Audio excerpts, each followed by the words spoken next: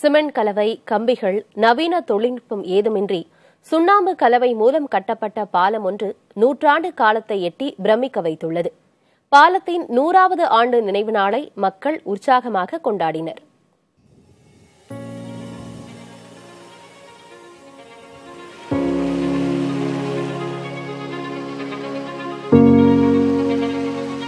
புதுக்கோட்டை அருகே உள்ள பூசத்துறை எனும் இடத்தில் வெள்ளாற்றின் குறுக்கே வீற்றிருக்கிறது இந்த பாலம். ஆங்கிலேயர் ஆட்சி காலத்தில் புதுக்கோட்டை மன்னர் ஏற்பாட்டில் கற்களை அடுக்கி பெரும் தூண்கள் அமைத்து ஓராண்டில் கட்டி முடிக்கப்பட்டது.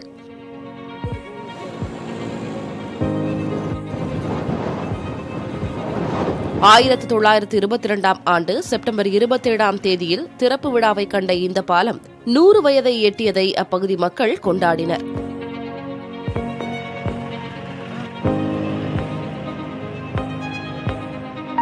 ஆற்றில் பலமுறை வெள்ளம் ஏற்பட்ட போதும் இந்த பாலம் இன்று வரை எவ்வித சேதமும் இன்றி பெரிதும் பயன் தருவதாக கூறுகின்றனர். ஆயிரத்தி தொள்ளாயிரத்தி எழுபத்தி ஏழில் வெள்ளம்னா கடுமையான வெள்ளம். நல்லா உலகமே வெள்ளம் தான் அதில் பார்த்தீங்கன்னா தண்ணி அப்படியே அந்த பூசத்துறை ஊரெல்லாம் பிடிச்சிட்டு போயிடுச்சு. அந்த டைமில் அந்த பாலத்திலேருந்து வலிஞ்சும் போயிடுச்சு தண்ணியாக ஒரு சின்ன டேமேஜ் கூட இதில் ஏற்படலை. அவ்வளோ ஒரு வலுவமாக ஒரு வலுவான பாலம் அது.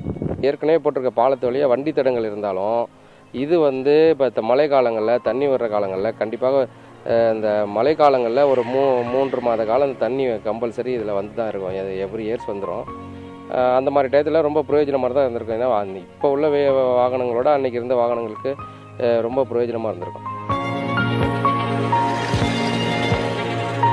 சோழ பாண்டிய நாட்டின் எல்லைப் பகுதியாக திகழ்ந்த புதுக்கோட்டையில் அமைந்த இந்த பாலம் அக்காலத்தில் போக்குவரத்து சேவையில் பெருமளவு பூர்த்தி செய்ததாகவும் கூறுகின்றனர்.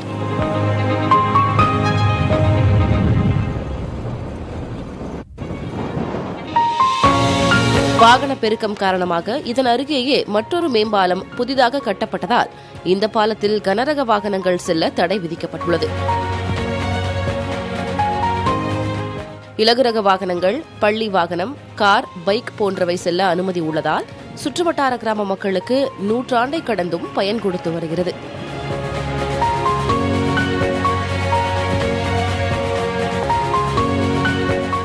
புதிய தலைமுறைக்காக ஒளிப்பதிவாளர் அப்துல் கபூருடன் முத்துப்பழம்பதி.